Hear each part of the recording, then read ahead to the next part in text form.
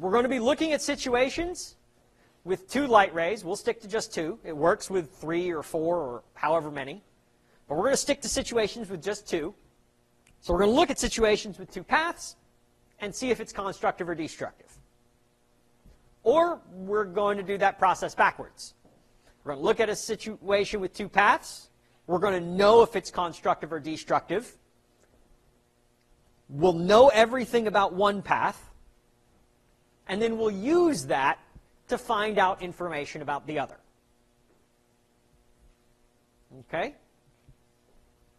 It's a lot of problem solving, not a lot of equations here.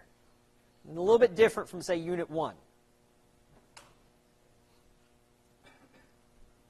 It's going to really be about process.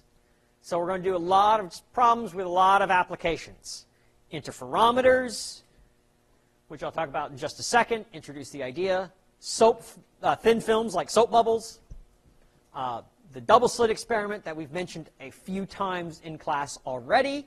Uh, we'll go through why that works. In fact, you'll use this in, in the next lab to measure the thickness of a hair.